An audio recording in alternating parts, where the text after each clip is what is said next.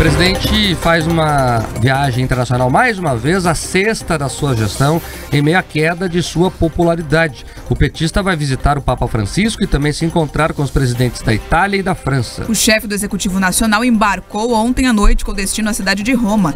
Entre os compromissos de hoje no país italiano está uma reunião com o sociólogo Domenico Di Massi, precursor inclusive do conceito ócio criativo. Amanhã, Lula se encontra com o presidente da Itália, o Sérgio Mattarella, e terá uma audiência com o Papa Francisco no Vaticano. No mesmo dia, ele também se reúne com o prefeito de Roma, o Roberto Gualtieri. Na quinta-feira, o presidente brasileiro vai participar da cúpula para o novo Pacto Financeiro Global em Paris, na França. Ele também estará presente em um jantar que será oferecido pelo presidente francês, o Emmanuel Macron, aos chefes de delegações participantes dessa cúpula. Na sexta, o petista almoça com o presidente francês e participa do diálogo de alto nível da cúpula. Nos seis primeiros meses de governo, o presidente Lula já visitou os Estados Unidos, China, Japão, Reino Unido, Portugal, Espanha, Argentina, Uruguai e Emirados Árabes Unidos. A viagem de Lula ocorre após a divulgação de uma, mais uma pesquisa aí sobre a popularidade dele junto aqui aos brasileiros. Desta vez, o levantamento foi feito pelo Instituto Datafolha, divulgado no fim de semana.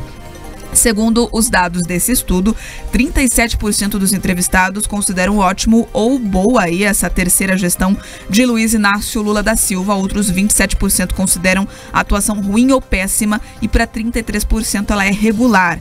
Entre as pessoas ouvidas, 3% não opinaram ou não quiseram opinar. O levantamento foi feito com 2.010 eleitores de 112 municípios diferentes no país. A pesquisa tem margem de erro de dois pontos percentuais para mais ou para menos. O questionário foi aplicado entre os dias 12 e 14 de junho. Em comparação com a última pesquisa, que foi feita em março, a variação esteve dentro da margem de erro. Na ocasião, Lula tinha 38% de aprovação e 29% de reprovação. Além disso, 30% consideravam o governo regular e 3% não quiseram opinar ou não opinaram. Esses números aí, deixa o Pedroso falar. Ele acredita em pesquisa, ele entende essas coisas aí e diz para vocês o que ele acha. Vou falar aqui sobre a questão política. O Lula tá indo mais uma vez para fora, por vários motivos. Primeiro, primeiro porque ele não pode viajar pelo Brasil. Você viu o Lula no Sudeste? No Sul? No Centro-Oeste? Não vai. Quando vai, em locais onde ele controla quem lá está para não levar vaia. E mesmo assim ter levado vaia volta e meia. Então, como ele não pode viajar pelo Brasil, ele vai para fora. É a sexta viagem dele em seis meses. É uma por mês a média. Ele já foi para a China, ele já foi para os Estados Unidos, ele já foi é, para tudo que é lugar do mundo aí praticamente. Lembram daquela comitiva em Portugal? Ou daquela comitiva em Londres? Parece que um dos hotéis mais caros da capital inglesa foram é, alugados aí um andar inteiro, os quartos de um andar inteiro. Então é isso, ele vai levar a Janja para conhecer o mundo, né? Primeiro, porque ele não consegue viajar pelo Brasil. Segundo, porque ele quer levar a Janja para conhecer o mundo. Terceiro, porque ele quer, né, se auto-intitular essa figura que pode ser um grande negociador internacional, que não é verdade, que não é verdade. Essa agenda com o Papa, vamos entender ela.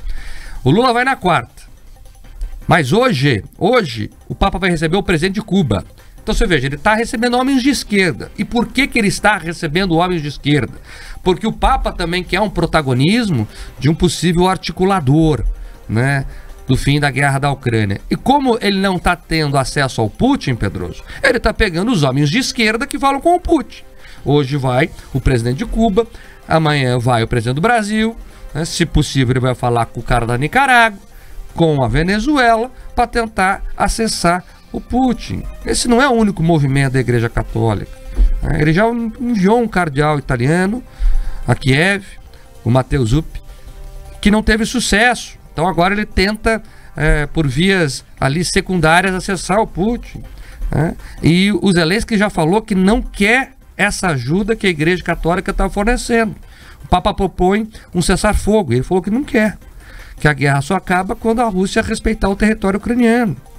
Então, é muita gente ali também, e eu não duvido das boas intenções, né? Todo mundo que quer parar uma guerra tem que ser, inclusive, exaltado. Mas nesse caso em específico, me parece muito mais né, querer aparecer no cenário mundial é, como alguém que está querendo fazer algo, do que poder real de negociar é, um cessar-fogo. Então, nós temos que tomar cuidado com isso, né? Aquela questão ali que as coisas parecem ser uma coisa, mas às vezes não são uma coisa. É muito mais ali gente querendo se prostrar a um papel que não ocupa do que é, de fato alguém que tenha relevância para poder mediar a guerra. A história lá das duas cervejas, né, a gente sabe já que não é verdade.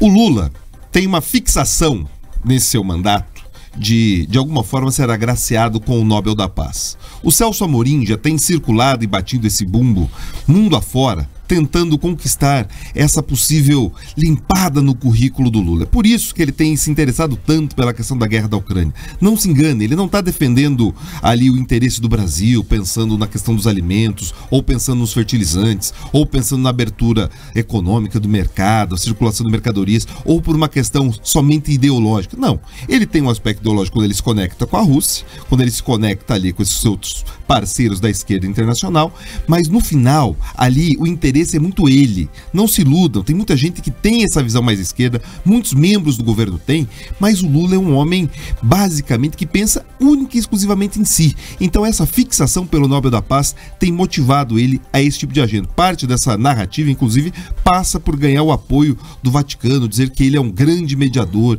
que ele quer a paz quando não quer a paz coisa nenhuma. A única paz possível, nesse caso, seria de fato respeitar o território ucraniano. Mas mais do que isso, falando dos números que o Mark me provocou aqui, dizendo que eu acredito. Eu acredito muito mais na tendência, na reunião das pesquisas para entender o que está acontecendo. Então, elas traduzem sim um aspecto da realidade. Nesse caso, que a popularidade dele tem sido desgastada e tem se esvaído. É isso que a gente acompanha nas ruas e é isso que os números trazem. Os números que a gente apresentou aqui são da pesquisa do IPEC e elas estão deixando muito claro para as pessoas que aquele apoio que ele tinha no início do mandato, ou quando ele conquistou as eleições, ou logo depois do 8 de janeiro, esse cenário não existe mais. E a gente percebe quando o Congresso cobra uma fatura mais cara, que ele não tem esse apoio popular para se fiar. A gente percebe quando, inclusive, ele não consegue circular, como o Mark apontou.